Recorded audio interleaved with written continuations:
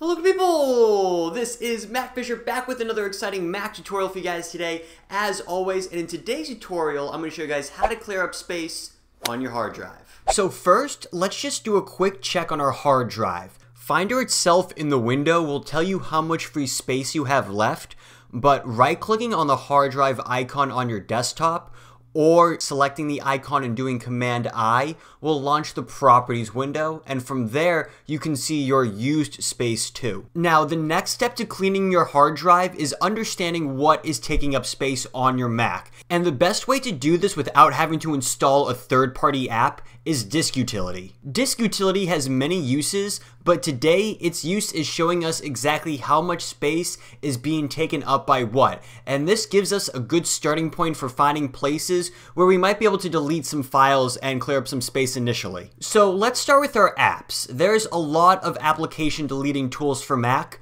but my favorite is AppCleaner. I've been using AppCleaner for years and it's wicked easy to use. Just drag and drop the application you want to delete and it finds all the other related files for that app too, like cache files or crash report files, and then deletes them too. So in my mind, this is the closest thing to sort of, you know, removing something from programs and features like you could on Windows. But the best thing about this app is that it's free, so make sure to check the description below for a link to this application.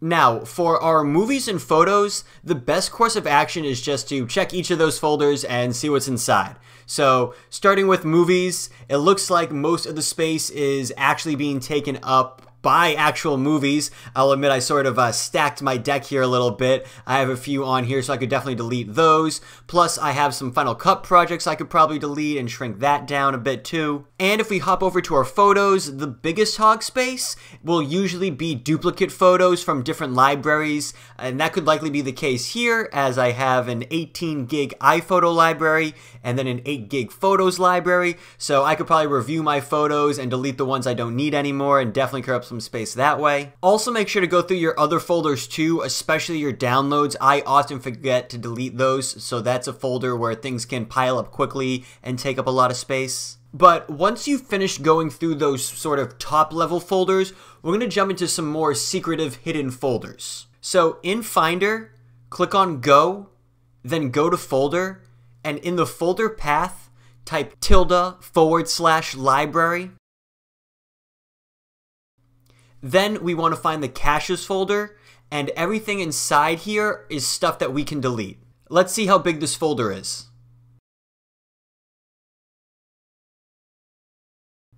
A gig. So we can definitely delete this and get some space back here.